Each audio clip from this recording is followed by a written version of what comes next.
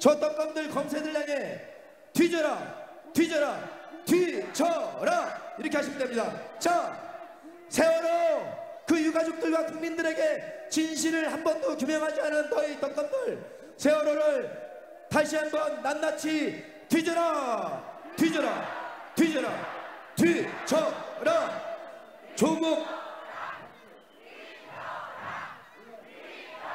진짜 뒤질 것 같습니다 뒤질 게 많습니다.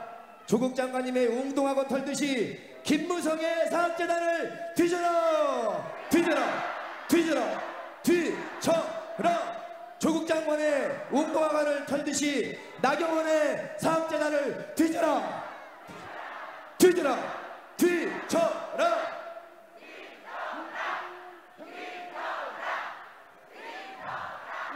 장재원의 사학재단을 웅동하고 같이 뒤져라. 뒤져라. 뒤져라.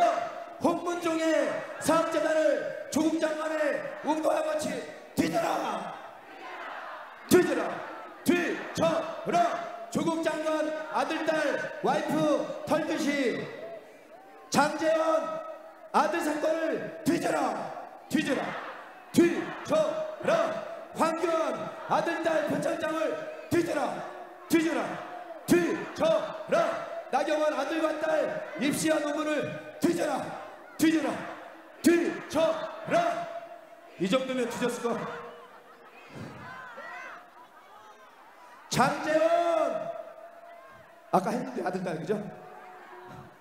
김성태 아들 딸 문제를 뒤져라! 뒤져라! 뒤져라